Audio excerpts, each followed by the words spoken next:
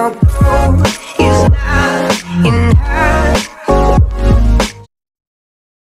guys, welcome back to a new tutorial. Today we will be learning how to import your mesh from Blender to Roblox. Uh, this is going to be a very easy tutorial and it's going to show you exactly how you can um, import whatever you have in Blender into um, to Roblox. I'll actually just okay. So right now I have my Bombardier Global 5000, which I made in a speed build video. Uh, if you want to download this plane and modify it a bit, since a lot of things are missing, the gears haven't been done. Um, the wing box is basically just a lump of cube and there are no engines so if you want to edit it make sure to join my discord server. Um, i've got a lot of you guys here and all my airplane files are here. Otherwise if you have your own mesh that's perfectly fine. So just a quick note. If you already have a mesh in blender and I've got one it's a very cursed A320 if you if you would like to call it that just remove that one. And if you have a mesh and you go inside of it and you see nothing, so everything's basically empty, there's a very easy fix to this introduced in Roblox. So this is for if you have your mesh imported. So all you would have to do is literally, uh, okay, you have to click on your mesh, click on the specific uh, part. For me, it's the fuselage. Then click double-sided, which you would find in the appearance menu under the properties. So if you cannot see this panel, go to you might be at home, so go to home, view, properties, and then click double-sided. Once you've done that, if you go inside your mesh, voila, you can see that it finally has an interior, but again, the um, the doors and the windows are still um, see-through. So for that you would actually have to double click double side for each and every part. So again you can just quite literally do um, control A and double sided. So now uh oh oops what did I do wrong here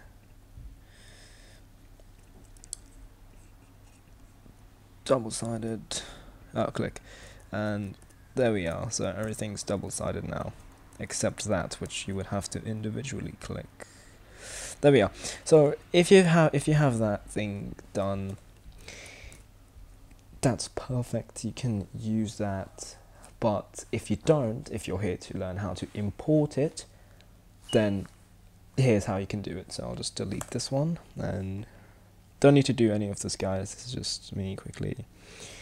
from game. I'll remove game. Okay, well that removes. Um, the first thing you want to do is check your normal. So for those of you don't know who what normals are, normals are basically where the specific um, face is um, facing. So uh, it, it sounds very silly, but just imagine that if you were to have a look at normals, which is over here, it's you can see lines that go out. So the normals for this face, um, to find out where the line goes out, you can see it by clicking here and then clicking face orientation. So if it's blue, that means your normals are going out, so they're facing out, like that. And if they're red, so like as you can see it's red, they're facing in. So if we have a look inside our fuselage, we can see that it's all red. That means our mesh is going to actually be invisible when we import it into Roblox. Now there's two th ways you can uh, fix this. The first way being uh, you could use the double-sided settings in Roblox Studio or second way is using a modifier called the Solidify modifier in Blender. Now to do that, select the fuselage or select the part that you have, click Solidify modifier and you're done. So if you go inside here and click face orientation, you can see how the fuselage is now blue. So if you want to check how your plane would be looking inside Roblox Studio, there's an option for that in Blender. All you have to do is click this arrow, click backface culling, and scroll in, and you can see how, and this is how your plane would be looking in Roblox Studio. Of course, the windows need to be, um, they also need to be solidified, but for now, I'll just leave it as it is, so we can just simply do it in Roblox Studio. So this is just an, another efficient way you can use. So let's close this. Okay. Um, now that we've done that, we will actually move to the uh, exporting part. So we have to first of all select the mesh. So actually no, we have to just click File, Export, and here there's two ways you can actually export this mesh. One is FBX and one is OBJ. Now, Roblox actually prefers you to use OBJ, but that has some limitations to it. And I will discuss those limitations. So for now, we will just click FBX. And actually, just a quick note. Click on every part you have just to check that its tris count, which should be below here, is up under 10,000 if you're importing this into Roblox. If it's above 10,000, this part would not import into Roblox. If there's an issue with the, if you don't know, if you want to decrease the number of triangles or the tris count, right, uh, go into edit mode, mesh, and clean up and decimate modif decimate geometry. I will not be discussing that right now, but you can Google how to um, decrease the tris count. So again, quickly export as an FBX and store this. I'll store this on the desktop for now. Okay, export FBX. Now that we've done that, we can quickly move on to Roblox Studio. There we are. Beautiful. Um, before you actually, so what you have to do is open a new file, open a new game in Roblox Studio. So new. It's opening here for me. I'll just quickly show you. And you have to publish this game under something. So you have to click File, Publish to Roblox as, create a new game, testing, create, and once it creates a game for you, you will be you will you can finally see the um the mesh option which would which I'll show you where it is right now. So it doesn't work for me for some reason I don't know why but I've already got a existing game. So here all you have to do is go to view uh, and asset manager. So here you should you would be greeted by this um, this uh, dialog box but this you would only get this if you've actually got um, if you've published this game to Roblox. So you can literally just do it here. Doesn't matter whether the game's online or offline, you just have to publish it to import a mesh. Then you want to click here on this little button, bulk import. Okay, so bulk import, um, choose wherever your FBX was, so mine is here, fresh plane FBX. Open, uh, and I'll keep them as they are, so apply. Just don't click apply or just click apply.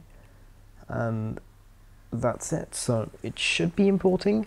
Um, I'll give you guys an update when it's finished and I'll show you how it looks like. So okay. So the meshes seem to have been imported. Um, there's two errors here and you can scroll down to find them uh, the only two, the only reason the errors are there is because I included some circles, which um, basically a circle is this.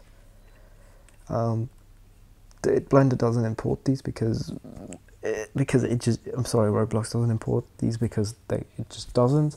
You don't need to worry about that unless it's actually crucial. It wouldn't really affect your plane. So, anyways, um, once you've done that, go to your asset manager, go to meshes, double click there, and select the top mesh. Select that, scroll all the way down, make sure you're holding down shift, and then click the bottommost mesh. then right click and insert with location. So give it a couple of seconds. Um, hopefully Roblox Studio doesn't explode. Hopefully my laptop's fan doesn't start. Okay, it's here. Beautiful. Our beautiful mesh is here. Um, oh, yeah, there it is.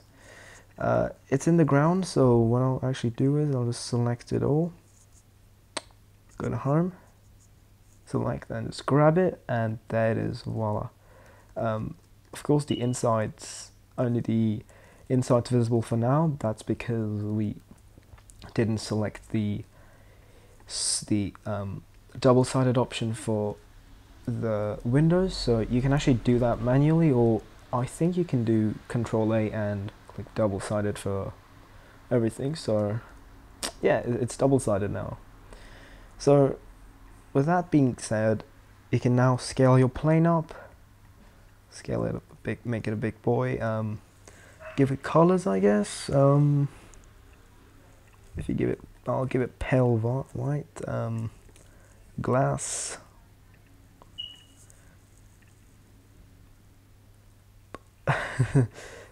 you can do whatever you like now. Um, your plane's in here.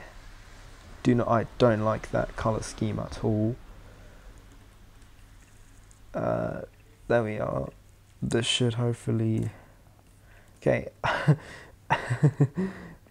I guess this could do the work. So, anyways, you've got your plane in. Um, do anything you like with it. Now, uh, that's one way to import your plane, and that is using the FBX method. So, I hope you guys enjoyed this tutorial. Um, if there's any problems, my DMs are always open on Discord. You can you make feel free to message me. There's no problems with that. If you need extra support, make sure to join my Discord server. We've got very friendly people here. Um, in fact, you can ping if you need immediate help or spam my DMs, as it says here. And yeah, I hope you enjoyed and hope you have a lovely day ahead.